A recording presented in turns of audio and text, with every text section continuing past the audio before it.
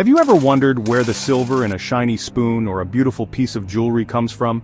It doesn't just appear out of thin air. It starts its journey deep inside the earth as something called silver ore.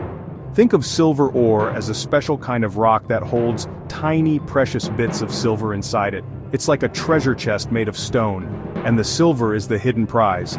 Finding this ore is the very first step in getting the silver we use for so many things. This rock might not look shiny or special at first glance, but it holds a secret that has fascinated people for thousands of years. Silver ore is not pure silver. Instead, it is a mixture of rock and minerals that contain silver. The silver is often chemically bonded with other elements, sulfur chlorine. To get the pure silver out, the ore has to be mined, crushed, and then heated to very high temperatures. Silver ore is not found just anywhere on the planet. It is concentrated in specific locations where the conditions were just right for it to form. Major silver-producing countries today include Mexico, Peru, China, Poland. In these places, miners dig deep into the earth to follow veins of ore. These veins are like long, thin ribbons of silver-rich rock that snake through other less valuable rock layers. Sometimes these veins can be very rich, containing a high percentage of silver. Other times the silver is spread out in tiny amounts through a huge volume of rock, making it harder to extract. The formation of silver ore is a fascinating natural process that takes millions of years. It usually begins with hot, mineral-rich water moving deep within the Earth's crust. This water, heated by magma far below the surface, is called a hydrothermal fluid. As this super hot water flows through cracks and fissures in the rock, it dissolves different minerals including silver, as this hot silver-bearing water rises closer to the cooler surface of the Earth, it begins to lose heat.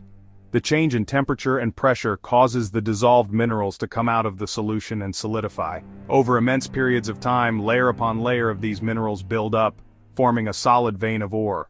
When you picture silver ore you might imagine a gray rock with shiny silver streaks. While that is sometimes true, silver ore can actually come in many different forms and colors. The most famous type is native silver which is silver in its pure metallic form. It can look like silvery threads branching tree-like shapes or solid nuggets embedded in rock. Finding native silver is quite rare and it is highly prized by collectors. However most of the world's silver is not found as native silver, it is usually found combined with other elements, most commonly sulfur.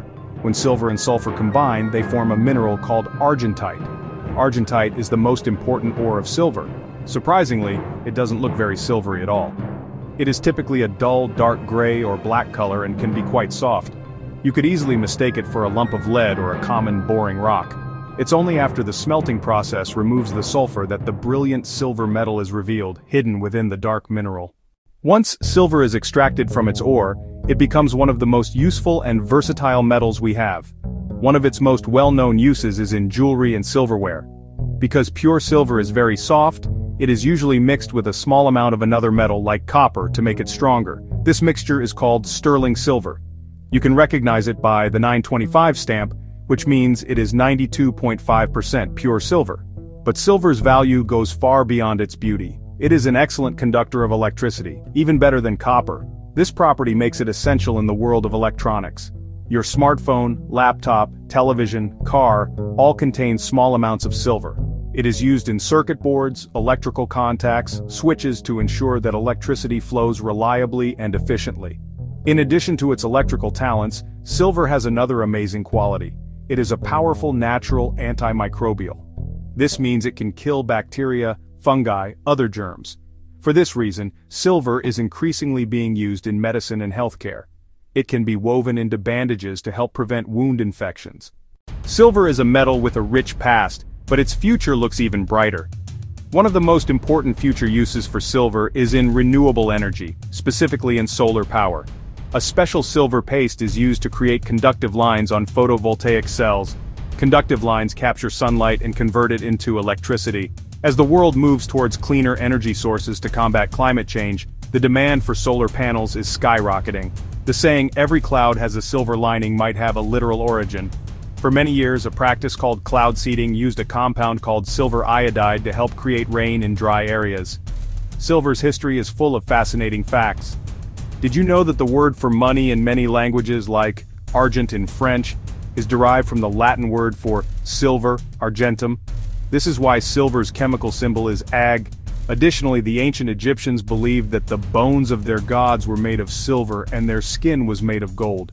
As we look ahead, the importance of silver ore will only continue to grow, the challenge will be to mine it responsibly and to become better at recycling it from old products. The humble rock known as silver ore is more than just a source of shiny trinkets, it is a key ingredient for a healthier, more sustainable and technologically advanced future for all of us.